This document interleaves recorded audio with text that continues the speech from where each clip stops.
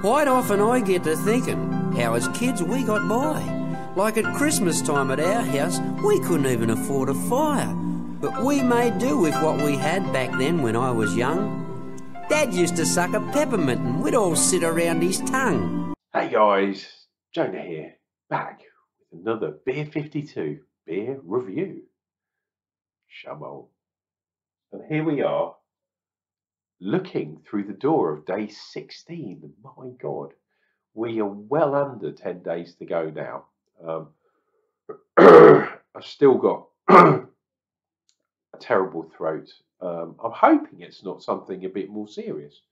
I thought I was all right, and then last night I was like tripping balls, and then having uh, Lemsip washed down with paracetamol, or the other way around. Anyway, you know what helps with a sore throat? Drinking some damn beer. So let us dive in right, and we might try and work out oops, what's happening with this one because this collapsed side. It is the last beer, but it's now in here. But this level below this one has decided to fall apart. So, holy fuck. Just trying to get these out, it's not easy. Now that this has fallen through, it's not going to come out. Right, let's take it through the side. Haha! What are you doing about that? Day 16? Fuck you. And I don't know if you can see here, but that, you probably can't.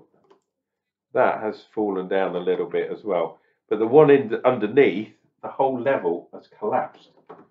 So day 24 is now in day 8. Work that out. So, yeah, the longevity of this box, I'm hoping it will last till the end. And we're not doing too badly so far. And every time we take a heavy one out of, of uh, somewhere above, like this one, 22, is on the upper tier, 21, 19, those are all done. That's silly. You should have put these ones on the top level so it releases, takes a bit of pressure off down below. Got one there, one, two there, oh, two there, two there. So the middle one, yeah, Ha, what do I know about designing these kind of things? Anyway, we are looking at 71 Brewing. It did focus briefly and then it did and then it decided not to. And this one is called 71 Extra. And you can probably make out the oatmeal stout at 5%. And there's the logo 71 Brewing and this one's called XS. Extra small or something? I don't know. It's a pretty weird, trippy 70s, maybe early 80s type weirdness. And it says roast barley, flakes, Scottish oats, and dark malts combined to create a robust warming stout with hints of caramel, dried fruit, coffee, and chocolate. We will see. And we've got the trifecta of barley, wheats, and oats. Fantastic. And uh, yeah, 71 Brewing are from Scotland. Hang on, let me have a look. You can see down below there. I don't usually show you the addresses of the breweries, but in this case, hi, come on, focus, hocus pocus. Why don't you focus? Damn you. Oh, come on, dude. it's in the zone. There we go. It is Dundee, Bellfield Street. So shout out to Dundee. One of my good buds um, lives over in Dundee in Angus. Uh, I think it's Dundee. Uh, yeah. Giving it a pressure test because it is a bit. This one is quite. There we go. Quite tight like a drum. But I've managed not to jizz it all on my uh, all of my trousers. So yeah, big secu. Shamold up to you guys. I'm pretty sure you're up in Dundee, aren't you, man? Long time no see. Speak. No hear. all that kind of jazz. Here we have the Beer 52 glass.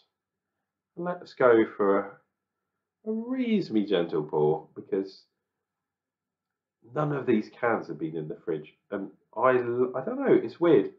People say you should store them at, you know, cellar temperature, 10 degrees ish. But I like mine from the fridge. So, you know, what's that? Four, or five degrees, something like that. And otherwise, you get a massive head, which we shall delve into after we've done the obligatory silly photo. So that can go up there with that. Uh, do you remember? I don't know if you, maybe it's me of a certain age, but do you remember they used to have Y fronts, the pants? Do you remember Y fronts with that pattern on? I was like the dark brown ones with the white trim. Very bizarre. Anyway, um, so we've got two fingers head, which is good. And that foam is looking mighty nice. It's obviously not perfect white, but look at that fluffiness. Absolutely brilliant. And it is hanging around, which is good. if I cough, I apologise, dear viewer, but hopefully some lubrication of the old pipe work, if you know what I mean, uh, will help me out a bit. So, yeah, let's see what we get. Oh, all I'm getting is some dark bitter, bitter stuff, but then my nose is gone away with the fairies. But yeah, dark, bitter chocolate. That's what I'm getting. Cheers and beers, guys.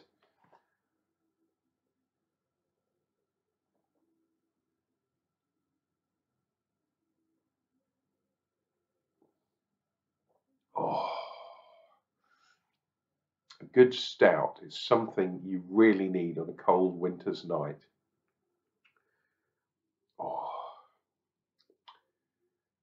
And it is pretty dark. It's dark chocolate, coffee. trying to pick out the fruits, not really. But you know, when you drink a coffee and it's real dark roasted coffee, sometimes you get some fruits from the actual coffeeness itself. That make sense? So you, you are getting a few sort of roasty uh, fruits, but yeah, they're the main things. Pretty bitter, I have to say. That dark chocolate bitterness is giving me quite a bitter aftertaste. But there is a little bit of sweetness that I'm feeling. I'm not actually tasting it at all, but I'm feeling on my lips. So that is a good sign indeed. We have got some of that head is definitely stuck to the glass. I'm going to be very interested to see if we get, there we go, beer 52, if we get a tide line. Let's go in for more beer and let's see what we get this time.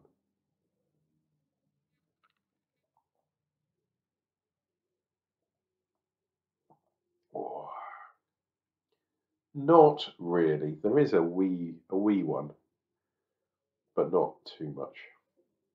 A little bit disappointed by that. If I the fact that my uh, my tasting perceptions have gone away with the fairies means that Jesus Christ, this is probably a very bitter beer. And I just can't taste it at the moment. I am quite enjoying this though. It's it makes a difference. Dark beers and, and light beers, especially well hot light beers, make just yeah, it's two totally separate types of beer. Ooh, quite well carb too. I really like that. Um, obviously, the fashion, the wokeness, if you like, has gone swung way, way into the hoppy side having a hoppy beer is just crazy. But there are people such as me who love their multi beers too. Um, oh, pardon me.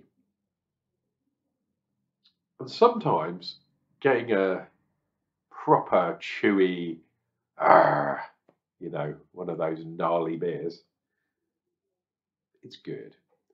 Um, 5% reasonable. I reckon because of the way this tastes, you could probably go a little bit a little bit stronger, maybe a 6% one. That would be nice.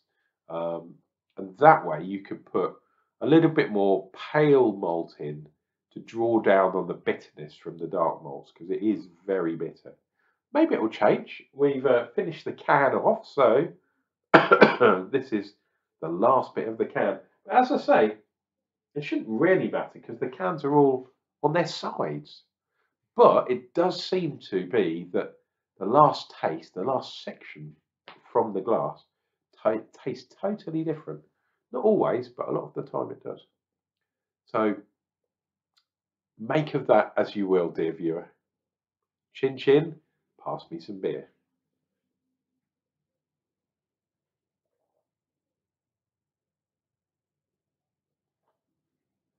Oh.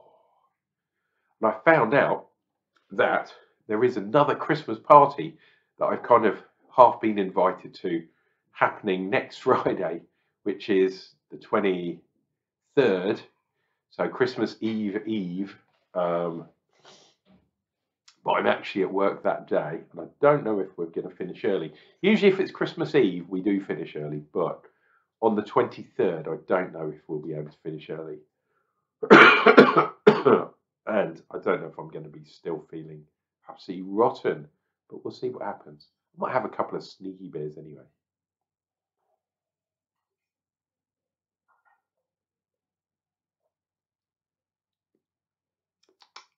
Um, oh, that was nice actually.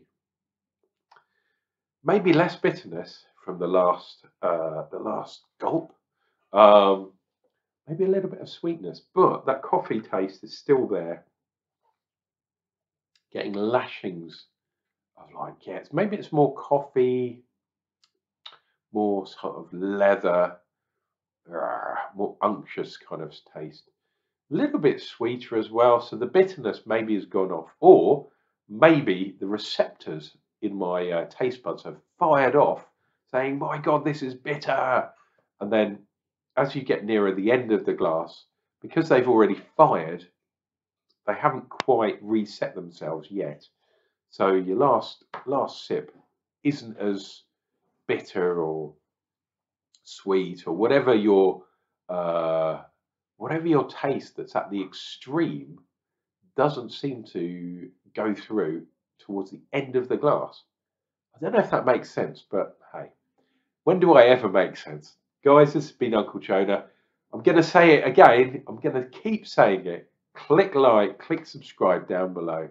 Please subscribe to the Uncle Jona uh, channel. Um, we will be doing beer reviews all the way up to Christmas. And then we're going to start on some 12 days of no, we're going to start on some real strong vocation beers, like 8 9% beers, uh, after Christmas in that week between Christmas and New Year. So there's going to be lots of videos still on this channel, but at the moment we're concentrating on the Advent boxes. Tune in a little bit later on today and we will have day 16 from the Beer Company box as well. Guys, take care of yourselves. Remember, Christmas is all about family, looking after yourself, and don't forget to drink some beer.